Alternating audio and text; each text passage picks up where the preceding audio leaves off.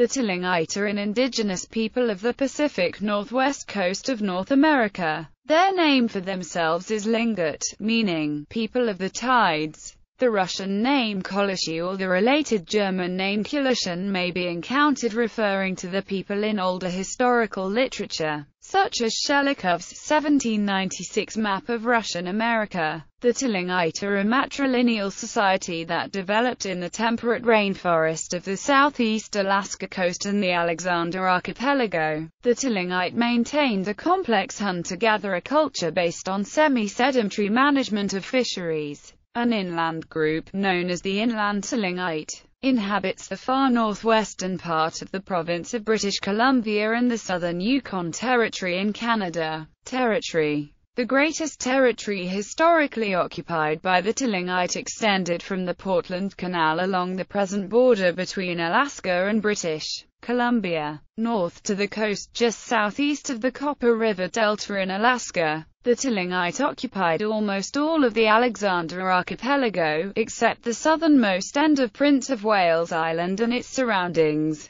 where the Kaigani Haida moved just before the first encounters with European explorers. The coastal Tlingit tribes controlled one of the mountain passes into the Yukon interior. They were broken down in three tribes the Chilkat Tlingit along Chilkat River and on Chilkat Peninsula, the Chilkoot Tlingit and the Taku Tlingit along Taku River. Inland, the Tlingit occupied areas along the major rivers that pierce the Coast Mountains and St. Elias Mountains and flow into the Pacific including the Alsek, Tatshenshini, Chilkat, Taku, and Stikine rivers. With regular travel up these rivers, the Tlingit developed extensive trade networks with Athabascan tribes of the interior, and commonly intermarried with them. From this regular travel and trade, a few relatively large populations of Tlingit settled around Atlin, Teslin, and Tagish lakes whose headwaters flow from areas near the headwaters of the Taku River. Delineating the modern territory of the Tlingit is complicated because they are spread across the border between the United States and Canada. They lack designated reservations. Other complex legal and political concerns make the situation confusing, and there is a relatively high level of mobility among the population, as well as overlapped territory with various Athabascan peoples such as the Tahltan, Kaska and Tagish. In Canada, the modern communities of Atlin, British Columbia, Teslin, Yukon, and Carcross, Yukon have reserves under the representative interior Tlingit populations. The territory occupied by the modern Tlingit people in Alaska is not restricted to particular reservations, unlike most tribes in the contiguous 48 states. This is the result of the Alaska Native Claims Settlement Act, which established regional corporations throughout Alaska with complex portfolios of land ownership rather than bounded reservations administered by tribal governments. The corporation in the Tlingit region is Sealaska Corporation, which serves the Tlingit as well as the Haida and Tsimshian in Alaska. Tlingit people as a whole participate in the commercial economy of Alaska. As a consequence, they live in typically American nuclear family households with private ownership of housing and land. Many also possess land allotments from Sealaska or from earlier distributions predating ANCSA. Despite the legal and political complexities, the territory historically occupied by the Tlingit can be reasonably designated as their modern homeland. Tlingit people today consider the land from around Yakutat south through the Alaskan Panhandle, and including the lakes in the Canadian interior, as being Lingut the land of the Tlingit. The extant Tlingit territory can be roughly divided into four major sections, paralleling ecological, linguistic, and cultural divisions. The southern Tlingit occupy the region south of Frederick Sound, and live in the northernmost reaches of the western Red Cedar Forest. Northern Tlingit live north of Frederick Sound to Cape Spencer, and including Glacier Bay and the Lynn Canal, they occupy the warmest and richest of the Sitka spruce and western hemlock forests. The inland Tlingit live along large interior lakes and the drainage of the Taku River as well as in the southern Yukon Territory, and subsist in a manner similar to their Athabasca neighbors in the mixed spruce taiga. The Gulf Coast Tlingit live along a narrow strip of coastline backed by steep mountains and extensive glaciers, north of Cape Spencer, and along the coast of the Gulf of Alaska to Controller Bay and Kayak Island. The territory can be battered by Pacific storms. The trade and cultural interactions between each of these Tlingit groups and their disparate neighbors, the differences in food harvest practices, and the dialectical differences contribute to these identifications. The classifications are supported by similar self-identifications among the Tlingit tribes or Quants culture. The Tlingit culture is multifaceted and complex, a characteristic of Northwest Pacific Coast people with access to easily exploited rich resources. In Tlingit culture a heavy emphasis is placed upon family and kinship, and on a rich tradition of oratory.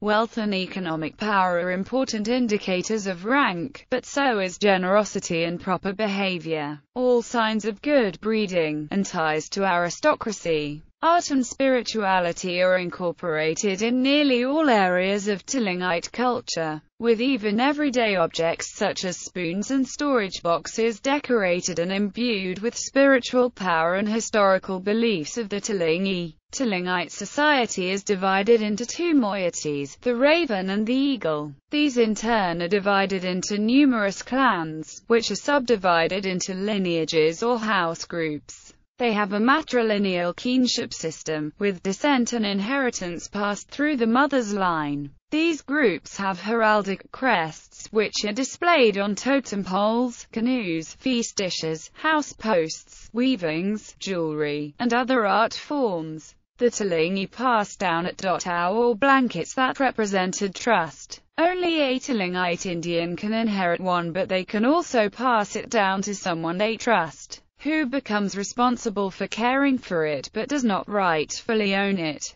Philosophy and religion Tlingit thought and belief, although never formally codified, was historically a fairly well-organized philosophical and religious system whose basic axioms shaped the way Tlingit people viewed and interacted with the world around them. Tlingit were traditionally animists, and hunters ritually purified themselves before hunting animals. Shamans, primarily men, cure diseases, influenced weather, aided in hunting, predicted the future, and protected people against witchcraft. Between 1886 and 1895, in the face of their shamans' inability to treat old world diseases including smallpox, many Tlingit people converted to Orthodox Christianity. Russian Orthodox missionaries had translated their liturgy into the Tlingit language. It has been argued that they saw Eastern Orthodox Christianity as a way of resisting assimilation to the American way of life, which was associated with Presbyterianism. After the introduction of Christianity, the Tlingit belief system began to erode.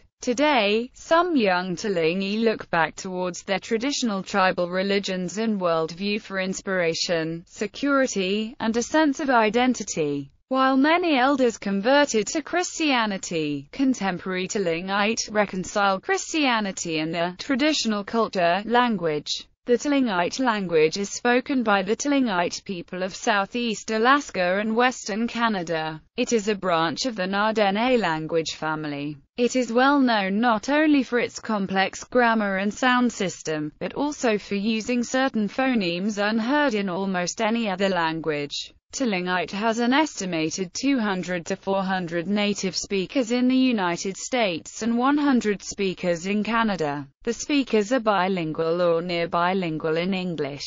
Extensive effort is being put into revitalization programs in Southeast Alaska to revive and preserve the Tlingit language and its culture. Sealaska Heritage Institute and the University of Alaska Southeast both have Tlingit language programs and community classes are held in Klukwan and Angoon. History Various cultures of indigenous people have continuously occupied the Alaska Territory for thousands of years, leading to the Tlingit Human culture with elements related to the Tlingit originated around 10,000 years ago near the mouths of the Skeena and Nass rivers. The historic Tlingits' first contact with Europeans came in 1741 with Russian explorers. Spanish explorers followed in 1775. Tlingit maintained their independence but suffered from epidemics of smallpox and other infectious diseases brought by the Europeans.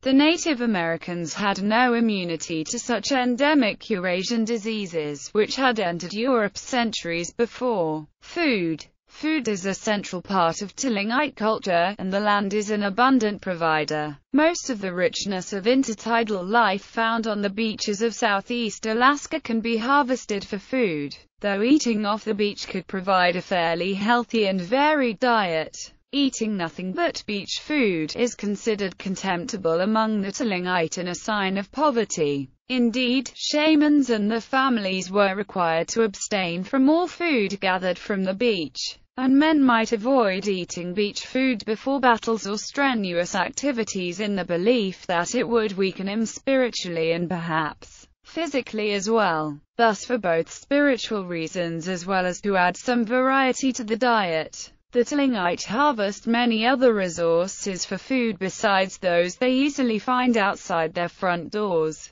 No other food resource receives as much emphasis as salmon, however, seal and game are both close seconds. Halibut, shellfish, and seaweed traditionally provided food in the spring, while late spring and summer bring seal and salmon. Summer is a time for gathering wild and tame berries, such as salmon berry, soapberry, and currants. In fall, sea otters are hunted. Herring and eulachon are also important staples, that can be eaten fresh or dried and stored for later use. Fish provide meat, oil, and eggs. Sea mammals, such as sea lions and sea otters, are used for food and clothing materials. In the forests near their homes, Tlingit hunted deer, bear, mountain goats and other small mammals notable Tlingit people. Larry McNeil, Tilly Paul, William Paul, Elizabeth Peratrovich, Chief Shakes, Walter Soboleff, scholar, elder, and religious leader.